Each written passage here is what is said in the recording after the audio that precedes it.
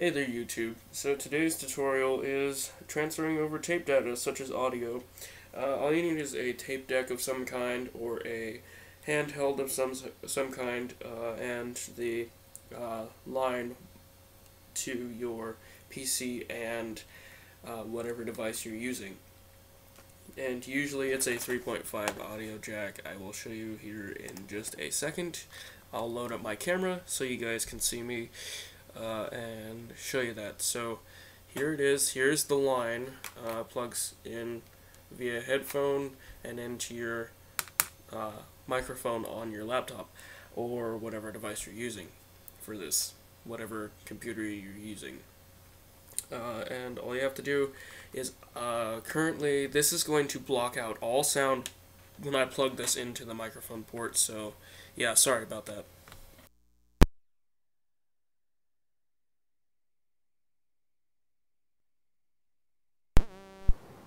This is the audio recording I prepared for this test. This is pretty much.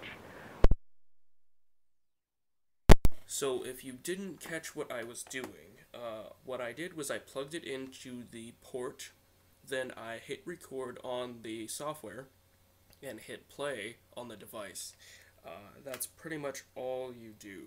Uh, and you can also do, you know, your noise static removal, but I'm not going to show you that because that's not exactly what this tutorial is about. This is just transferring over tape data, uh, like your audio, maybe even recordings that you've done, or uh, stuff like that. So well, I'll, I'll show you what it sounds like real quick.